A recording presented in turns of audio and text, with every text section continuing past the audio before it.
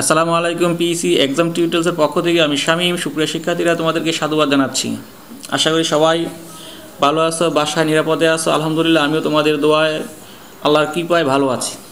সুপ্রিয় শিক্ষার্থীরা, বিশেষ করে ষষ্ঠ, সপ্তম, অষ্টম সকল শ্রেণির শিক্ষার্থীরা, তোমাদের জন্য আমার বিশেষ আয়োজন তা হলো হাউ ইজি ভয়েস চেঞ্জ অর্থাৎ ভয়েস চেঞ্জ কত সহজ, আমরা কীভাবে অতি দ্রুত, নিখুঁতভাবে ভয়েস করতে পারি। তারই প্রেক্ষিতে তোমাদের একটা হোমওয়ার্ক দেওয়া ছিল হোমওয়ার্ক টু কত ভিডিওর পরে আমার আজকে যে হোমওয়ার্ক টু নিয়ে আজকে কাজ করব, এর ম্যাচিং করব, আশা করি তোমরা আমার সাথে থাকবে। হোমওয়ার্কগুলো সুন্দর করে সঠিকভাবে ম্যাচিং করবে। তাহলে চলো আমরা ম্যাচিং শুরু করি। নাম্বার ওয়ান সুপ্রিয় শিক্ষার্থী এখানে লক্ষ্য করো, একটু মনোযোগ সহকারে লক্ষ্য করতে হবে। He requested me and I help him এখানে এটা কম্পাউন্ড সেন্টেন্স আমার নিয়ম ছিল কমপ্লেক্স অথবা কম্পাউন্ড সেন্টেন্স হলে উভয় অংশের বয়স করতে হবে। সো আমরা এই অংশের বয়সও করব, এখানে বয়সও করব।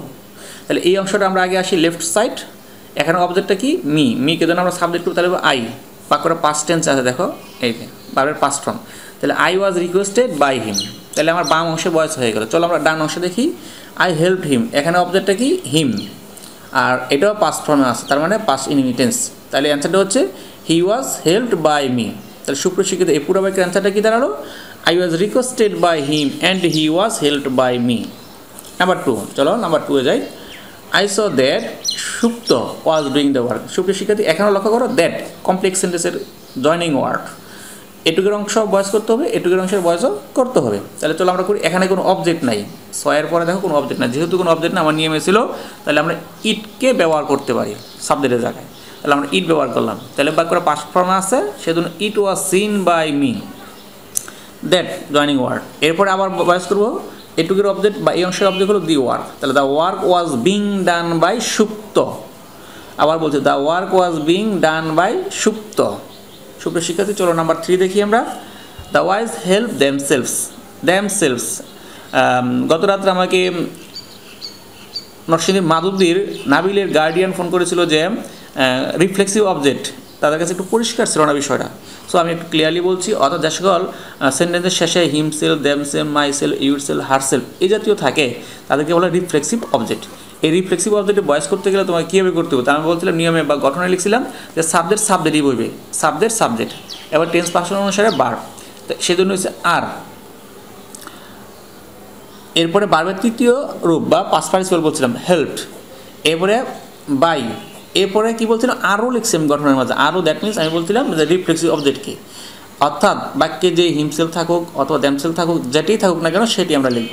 যেমন এই বাক্যে দ্যামসেলস আছে, সেজন্য আমি দ্যামসেলস লিখছি। তাহলে এই বাক্যটি হলো the wise are helped by themselves number four he bought a pen and gave me it সুপ্রিয় শিক্ষার্থীরা অ্যান্ড কনজাংশন সো আমাকে দুইটা পার্টেরই বয়স করতে হবে।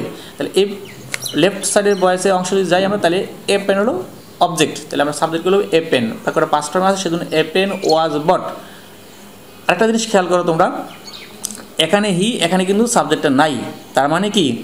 তার মানে এখানে একই ব্যক্তিকে মিন করা হয়েছে অর্থাৎ সাবজেক্ট যদি একই ব্যক্তিকে বোঝানো হয়, সেক্ষেত্রে বাইরের পরে বারবার এই ওই ব্যক্তিকে সাবজেক্টকে অবজেক্ট হিসেবে লেখার কোনো প্রয়োজন নেই।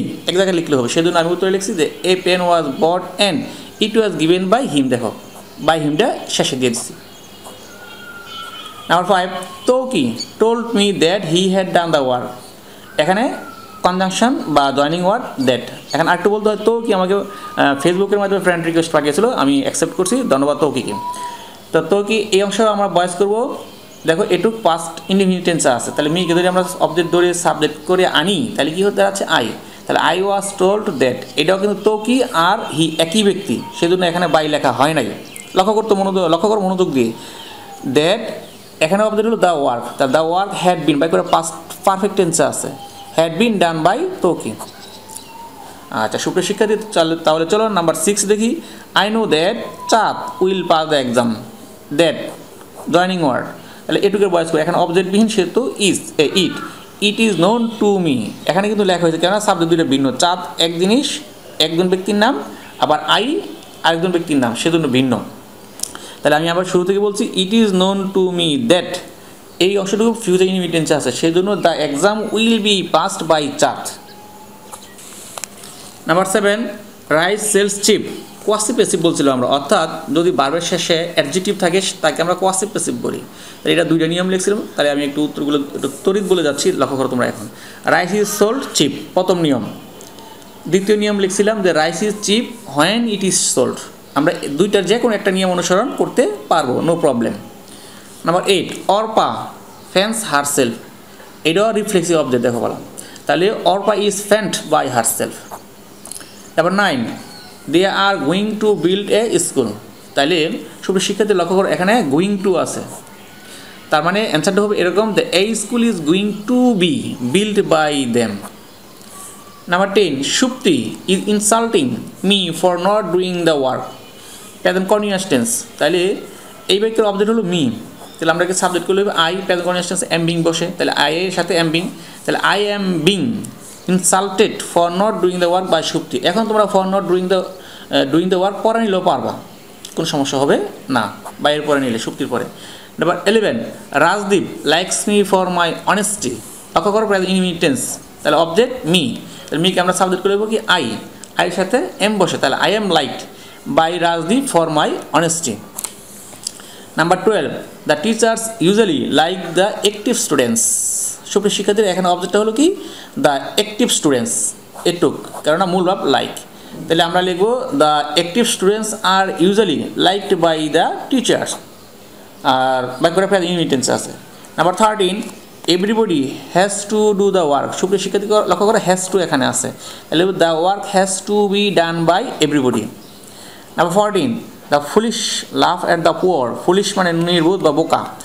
আচ্ছা তাহলে সুপ্রিয় শিক্ষার্থীরা এটার অবধি হলো the poor the poor are loved at by the foolish number fifteen the bus ran over the boy ran বলছি কিন্তু উচ্চারণটা লক্ষ্য করবা। পাঁচ ইউনিটেন্স the boy was run over by the bus সুপ্রিয় শিক্ষার্থীরা আশা করি আমার দেওয়া যে পনেরোটা হোমওয়ার্ক ছিল আমাদের অধিকাংশই হয়েছে। যাদের পনেরো থেকে পনেরোই হয়েছে, সবাইকে আমি পিএসসি এক্সাম টিউটার্সের পক্ষ থেকে সাধুবাদ জানাচ্ছি। আর তাদের হয় না যেখানে ভুলটা ছিল, সেটা অবশ্যই ওভারকাম করার চেষ্টা করবে। তাহলে চলো, তোমাদের জন্য আমার আগামী দিনের যে রুলস নিয়ে আলোচনা করা, সেটা শুরু করব। সুপ্রিয় শিক্ষার্থীরা, আজকে আমার যে আয়োজন তোমাদের জন্য তা হলো ইন্টাগ্রেটিভ সেন্টেন্স আমরা জানি ইন্টাগ্রেটিভ সেন্টেন্সের গঠন দুই ধরনের হয়। একটা হলো বাক্যের শুরুতে সরাসরি টি অফ দিয়ে থাকে আর একটা ডাব্লিউ ওয়ার্ড দিয়ে থাকে। তবে আজকে আমি যেই ঘটনা নিয়ে তোমাদের সামনে হাজির হয়েছি তা হলো বাক্যের শুরুতে টু অফ থাকবে। তার জন্য আমি গঠনটা এইভাবে লিখছি। লক্ষ্য করে এখানে টু বি বার সাবজেক্ট মেইন বার অবজেক্ট এই ফর্মেটে যদি কোনো বাক্য থাকে, তাহলে আমরা কীভাবে অতি সহজে নিখুঁতভাবে করতে পারি? সেই রুলসটা আমরা আজকে দেখব। আমার সাথে একাধিকবার পর্ব এবং মুখস্থ করে ফেলব। তোমাদের প্রতি আমার বিশেষ রিকোয়েস্ট থাকবে, অনুরোধ থাকবে। তাহলে একটা মনোযোগ সহকারে লক্ষ্য করো। কী লিখছি আমি এখানে? আই ডট এস তার মানে interrogative sentence I for interrogative S for sentence সংক্ষেপে বল লিখছি, একটু তোমরা মনোযোগ দেওয়ার সহকারে শোনো। যুক্ত এবি মানে অ্যাক্টিভ ভয়েস কে পিবি মানে পেসিভ ভয়েস অর্থাৎ তাহলে কী দাঁড়াল? ইন্টাগ্রেটিভ সেন্টেন্সকে অ্যাক্টিভ ভয়েস থেকে পেসিভ ভয়েস করার নিয়ম। আচ্ছা তাহলে নিয়মের প্রথম অংশটা কী দেখো করো প্রথমে আইএসকে আইএস মানে কী বলছিলাম? ইন্টাগ্রেটিভ সেন্টেন্সকে খসড়াভাবে এসে পরিণত করতে হবে। এ এস মানে এসআইডিভ সেন্টেন্সে নিতে হবে। কি বলছি? এস এসআইডিভ সেন্টেন্সে নিতে হবে। লক্ষ্য কর। এস মানে এসআইডিভ সেন্টেন্সকে একটি বয়স থেকে পেসিভ বয়সে যেভাবে আমরা করছি আগে, যা শিখলাম সেইভাবে নিব, পরিবর্তন করব। দেখো আমি প্লাস দিয়ে রাখছি। নাম্বার থ্রি বাক্যের শুরুতে অক্সিলারি ভার্ব নিয়ে আসব। এটাই আমার অ্যান্সার এরপরে শেষে প্রশ্নবোধক চিহ্ন দিব। তাহলে এতগুলো দাব মেনটেন করে আমাকে আসতে হবে। তবে এই দাবগুলো আমরা পরীক্ষা খাতায় লিখব না। আমরা তখন করব, করতে করতে করতে করতে দেখব তোমার মানসিকভাবে একটা প্রিপারেশন হয়ে যাবে তোমার, আরে আমি তো পারি। তাহলে চলো আমরা দাবগুলো ফলো করি। প্রথম বাক্য ছিল কি? ইন্টাগ্রেটিভ সেন্টেন্স দেখো হ্যাভ ইউ ইটেন রাইস শিখিতে এখানে প্রশ্ন চিহ্ন হবে। Have you eaten rice interrogative sentence লক্ষ্য করো। এতে টু ব্যাপ টু ব্যাপ সাবজেক্ট সাবজেক্ট বার বার অবজেক্ট অবজেক্ট প্রশ্ন চিহ্ন। বাইকে শুধু টু অফ থাকলে আমি যেই নিয়ে বয়সটা করব, চলো আমরা সেই দাবগুলো দেখি প্রথম কি বলছিলাম? ইন্টাগ্রেটিভ সেন্টেন্সকে এসআইডি পরিণত করব। তাহলে এই যে এসআইডি পরিণত এসআইডি পরিবর্তন করার সহজ নিয়ম কি? বাকি শুরুতে সাবজেক্ট নিয়ে আসতে হয়, এবার টু অ্যাপ এবার মূল অ্যাপ এরপরে বাকি অংশ। তাহলে হচ্ছে কি ইউ হ্যাভ ইটেন রাইস এসআইডিভ করলাম। এটা কি? এসআইডিভ এস যাকে আমরা এস বলি। এসআইডিভ হলো। এখন এসআইডিভকে খসড়া করার পর বয়স করব বয়সের নিয়ম অনুসারে। তাহলে আমরা বয়সের যে নিয়ম, সেভাবে বয়স করি আমরা রেখে এটা ফ্যাথেন পারফেক্ট টেন্সে আছে, দেখো। Rice has been eaten by you এটা কি হলো আমার এখন বয়স হলো পেসিভ বয়স পিবি হয়েছে পেসিভ বয়স হয়ে গেল। এখন আমার কি নিয়ম বলছি যে বাক্যের শুরুতে তুই আপটা নিয়ে আসব জাস্ট তাহলে এই বাক্যের টু একটা কোনটা আছে? ই হ্যাজ তাহলে has rice is eaten by you এই হলো আমার সেন্টেন্স অ্যান্সার শেষে আমার প্রশ্ন চিহ্ন দিতে কী বলছিলাম? বাক্যের শুরুতে একটি অক্সিলারি বা বসাতে হয় এবং শেষে প্রশ্ন চিহ্ন দিতে হয়, তাহলে আমি দিলাম। তাহলে এটা হলো আমার অ্যান্সার এই যে অ্যান্সার বেসিক এই দুইটা কি? রাফ। আমার খাতায় করার দরকার নেই, যখন আমি বাসায় চর্চা করব একাধিকবার, তখন অটোমেটিক্যালি তোমার মনের মধ্যে একটা অনুসরণ, অনুবোধ আসে পড়বে যে বয়সটা এমনি করতে হয়। ঠিক আছে? তাহলে চলো আমরা আরেকটা এক্সাম্পল দেখি। এই নিয়মটা বোঝার জন্য আরেকটা এক্সাম্পল আমি তোমাদের জন্য নিয়ে এসেছি। লক্ষ্য কর কি। Do you drink milk do you drink milk do to you you subject drink মুল বার মিল্ক অবজেক্ট একে আমরা কী করব এখন? এসআইডিভে নিব। এসআইডিভ নিতে গেলে কী করতে হবে? সাবজেক্ট আগে আনতে হবে, তাহলে ইউ যেহেতু ডু অথবা ডাস থাকলে, ডু ডাস ডিট তিনটা, থাকলে বারোর সাথে, ডু থাকলে বারোর সাথে কোনো কিছু যোগ করতে হয় না। আর ডাস থাকলে বারোর সাথে আসবে যোগ করতে হবে আর ডিট থাকলে বারোর পাঁচ ফর্ম করে লিখতে হবে। আমি আবার বলছি, যদি বাক্য শুরুতে ডু ডাস ডিট থাকে, অর্থাৎ ডু থাকলে যখন এসআইডিভে পরিণত করবা, তখন বারোর সাথে কোনো কিছু যোগ করতে হবে না। ডাস থাকলে বারোর সাথে এসবি এর যোগ করতে হইব। আর ডিট থাকলে বারোর পাঁচ ফর্ম লিখতে হবে। এখানে যেহেতু ডু আছে, সেহেতু কী হবে? ইউ ড্রিঙ্ক মিল্ক অ্যাসার্টিভ হয়ে গেল। তার মানে এবে করা অ্যাসার্টিভ সেন্টেন্স এখন। এখন আমরা বয়সের নিয়ম অনুসারে অ্যাসার্টিভ সেন্টেন্সে বয়স যেভাবে করতে হয়, ঠিক সেভাবেই করব। তাহলে করলে milk is drunk by you হয়ে গেল কি? পেসিভ বয়স হয়ে গেল এখন। এই বয়স করলাম আমি। এখন বাক্যের শুরুতে টুই আপনি আসবে এদের টুই up is milk drunk by you আমার অ্যান্সার হয়ে গেছে। এটা কিন্তু আমার answer N S W E R answer হয়ে গেল। অর্থাৎ ডু ইউ ড্রিঙ্ক মিল্ক এই বাক্যের অ্যান্সার হলো আমার এটা। আমার এটা লিখতে পরীক্ষার খাতার মধ্যে। এই দুটা লেখার কোনো প্রয়োজন নাই। আমি আবার বলছি হ্যাভ ইউ ইটেন রাইস এই বাক্যের উত্তর হলো rice has rice has been eaten by you এটা আমার পরীক্ষার খাতায় লিখতে হবে। এই দুইটা বাক্য লেখার প্রয়োজন নাই। জাস্ট রাফ বা মানসিক প্রস্তুতির জন্য বা সঠিকভাবে করার জন্য সেই প্রস্তুতি। তো সুপ্রিয় শিক্ষার্থীরা, আশা করি আমার এই ঘটনাটা বুঝতে তোমরা আমার, তোমার প্রতি আমার, তোমাদের প্রতি আমার অনুরোধ থাকবে, এই ভিডিওটা, এই নিয়মটা একাধিকবার টেনে দেখবা, বোঝার চেষ্টা করো এরপর না বুঝলে আমাকে অবশ্যই কমেন্ট করবে, অবশ্যই ফোনও করতে পারবে, কোনো প্রবলেম আর তোমরা যারা আমাকে ফেসবুকে পেতে চাও, তাহলে তোমরা এই আইডিতে অর্থাৎ স্বামী মিয়া নামে এই আইডিতে টাচ করবা। ওকে তাহলে চলো তোমাদের এই গঠনের আলোকে তোমাদের জন্য যে হোমওয়ার্ক আমি তৈরি করেছি, তাহলে চলো আমরা হোমওয়ার্কটা দেখে নিই।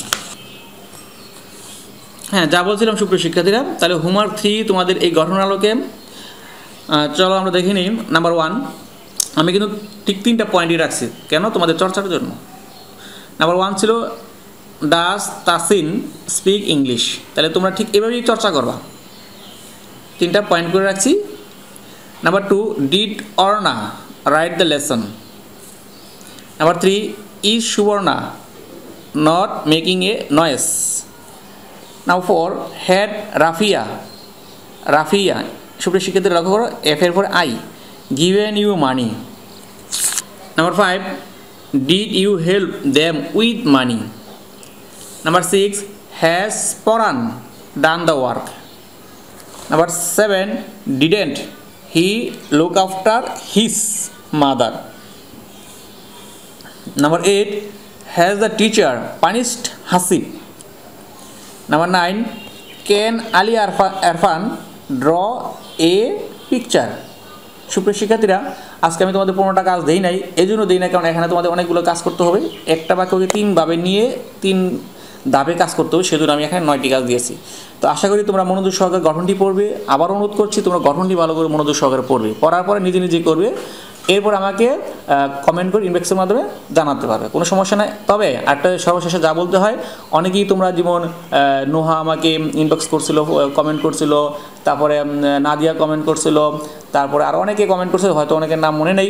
যারা যারা কমেন্ট করছে, সবাইকে সাধুবাদ জানাচ্ছি এবং যারা করো নাই, আশা করি তোমরাও করবে।